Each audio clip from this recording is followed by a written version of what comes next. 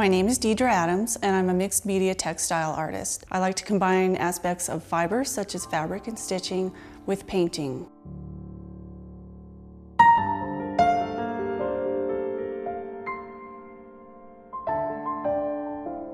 I'm really drawn to things that are undergoing transformation, such as the side of an old building that's been out in the weather for a long time. You see the effects of the rain and the sun.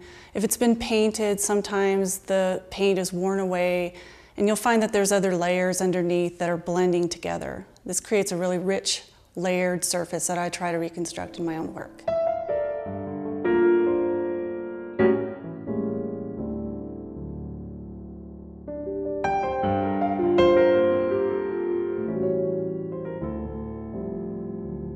Uh, my work is unique because I'm primarily a painter, but I add my own twist to it as I make my own canvases from the fabric and stitching. This adds a rich dimension to the work through the use of texture. In a typical painting, you're just seeing a canvas, and part of what my, makes my work unique is that I'm creating my own canvas from the stitching and the extra dimension that's created by the fiber.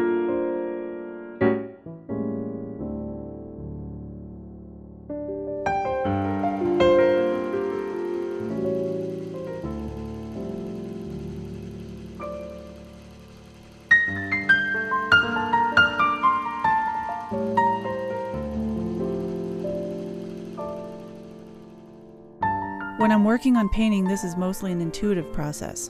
I start out with an idea of what colors and shapes I want to end up with, but the finished product is often very different from that original idea. I like to say that the painting process is one of creation and destruction as I go back and forth, making decisions and responding to what's already there in front of me. Well, the fact that my work is abstract means that people are free to draw their own associations and meanings from it.